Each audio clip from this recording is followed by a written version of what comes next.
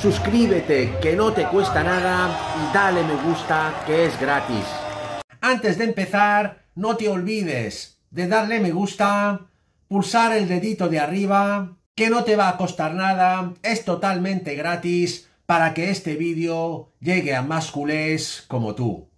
Buenas amigos culés, ¿qué tal estamos? Voy a empezar este vídeo hablando de un tema importante y es el nuevo formato del Mundial de Clubs para el 2025. Van a participar muchos equipos grandes como si fuera un Mundial de selecciones. Ya está confirmado, habrá grandes ausencias de equipos míticos como Milán, Arsenal o Liverpool.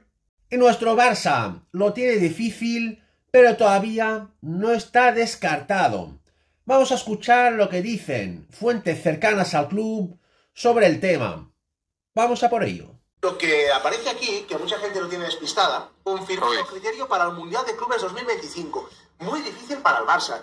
Eh, Fernando, Santi, ¿por qué es tan difícil que el Barça pueda clasificarse en este Mundial de Clubes? Que evidentemente hasta ahora era solamente podía ir el campeón de Champions, ahora se va a abrir, pero ¿por qué no podrá ir? Por el, por el coeficiente, por el coeficiente que marca las últimas cuatro participaciones y es verdad que al Barça en esas últimas cuatro participaciones pues no le ha ido bien a nivel europeo y eh, el Madrid está adentro porque ha ganado Champions y el Atlético está siete puntos de ese coeficiente por encima del Barça. Entonces... Porque hay una mezcla, ¿no? Dijéramos de sí. histórico, el Barça lo tiene, más el coeficiente más actualizado. Sí, más actualizado. De las últimas competiciones y ahí sufre. van a jugar en este Mundial de Creo que son 32. ¿32? Pero claro, son de las diferentes confederaciones. No, no, claro, es que... 32, pero, pero entonces era como un Mundial de selecciones, a nivel de... Sí, sí, pero, pero te van a ir, claro, de, de, de las diferentes confederaciones que tienen, tienen que estar representadas.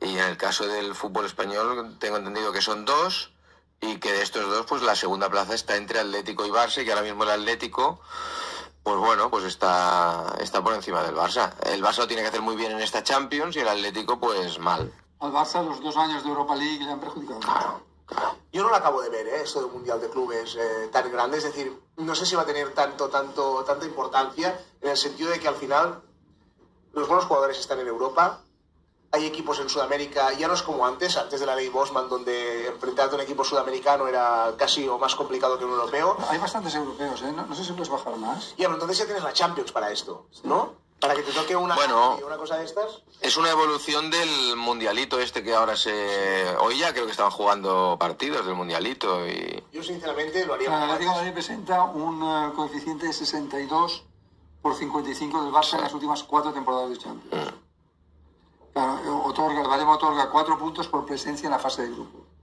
Cinco por pasar a octavos y un punto suplementario por cada una de las rondas siguientes superarlas, además de dos puntos por victoria y uno por empate en todo el terreno.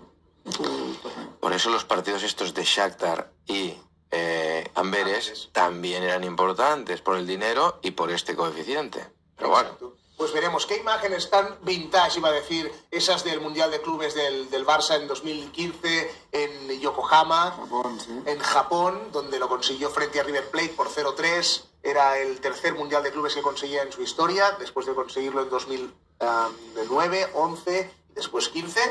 Pero queda lejos eso, queda lejos de, de ver a un Barça aspirar. hubo, hubo uno con el Santos, ¿no? De Neymar. 11, sí señor, 0-4, que pasó la historia porque el Barça estuvo durante un tiempo sin ningún delantero, eran Ujú. centrocampistas o Y el, defensas. del, y el del Estudiantes de La Plata.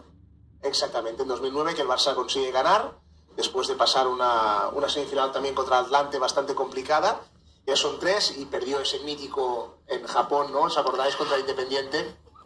Yo creo que perdieron uno que los elimina Cruzeiro, puede ser. Pues. Este fue con que Sao estaba Paulo, Sao Paulo. Sao Paulo. Sao Paulo de, de Raí. Bueno, sí, pero es, no, no, pero esto es el 92. Yo digo en el 2000, sí. El 2006, El 2006, el ¿no? Pierde uno, gana al América de México por 4-0 fácil Mm. y en la final pierde 1-0 contra eh, Independiente, se llamaba ese equipo, no me acuerdo cómo se llamaba, que era eh, Internacional, Internacional. Internacional de Porto Alegre, ¿no? Exacto, el Internacional de Porto Alegre, 1-0.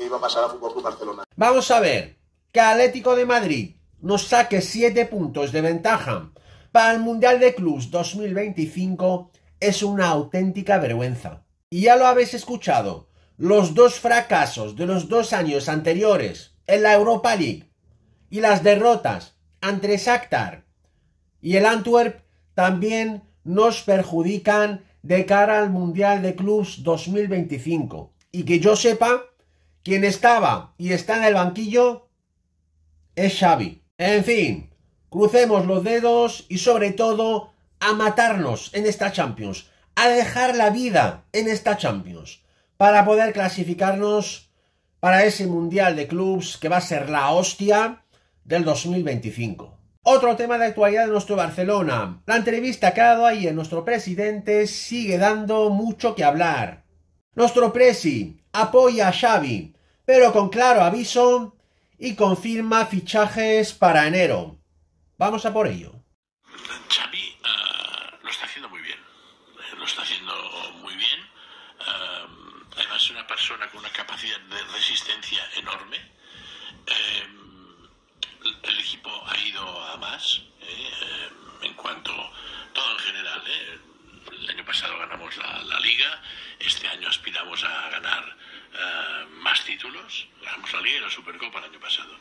Este año nos gustaría eh, como mínimo repetir lo que hicimos el año pasado y pensamos que podemos eh, conseguir algo más si nos respetan las lesiones, si, si todo pues va progresando como pensamos. Creo que está entrenando uh, al equipo uh, y que, o sea, muy bien, insisto, con la capacidad de resistencia que está de tener en los momentos complicados, él la ha tenido y hace, vamos, poco que hemos estado hablando de esto, o le oí las declaraciones después del partido de Valencia, las comparto al 100%, al 100%. Eh, él sabe perfectamente qué es lo que falta en el equipo para ya coger esa velocidad de crucero que nos lleve a la victoria.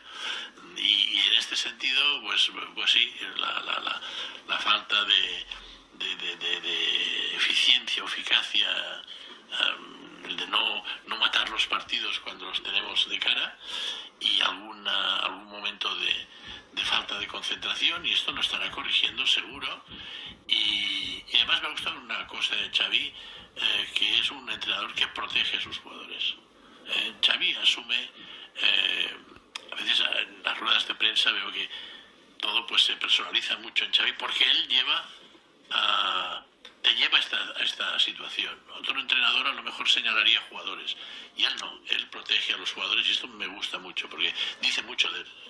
Si conseguimos tener fair play, eh, la idea sería, digo porque me lo ha comentado Deco, de, de incorporar un un centrocampista que de alguna manera recompense la falta de, de, de Gaby. Y ahora sí vamos con el temazo principal. Kylian Mbappé confirma el bombazo del siglo del Barça. Una fuente parisina muy importante acaba de asegurar que las negociaciones del Barça con Kylian Mbappé en su entorno están muy avanzadas. Recordemos que Kylian Mbappé acaba contrato en el próximo año 2024 con el PSG, no va a renovar por el club de la capital francesa, tampoco jugará en el Real Madrid y el Barça solo tiene que pagar una prima de fichaje. La misma fuente afirma que el fichaje de Kylian Mbappé por el Barça depende de la venta de Ronald Araujo al Bayern.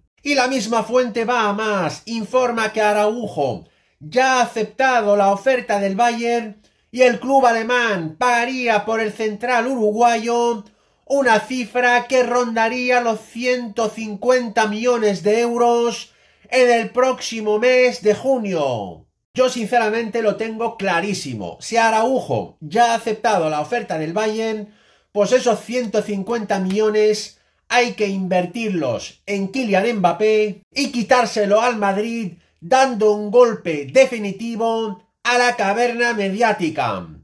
Estaremos atentos a los acontecimientos. Esta ha sido mi grandísima noticia de hoy, amigos culés. No os olvidéis suscribirse a mi canal, que no os cuesta nada. Pulsar un like como siempre y dejarme comentarios para cambiar opiniones. Muchas gracias. Forza Barça por siempre. Vamos a por todas. Y nos vemos muy pronto en mi próximo vídeo. ¡Vamos!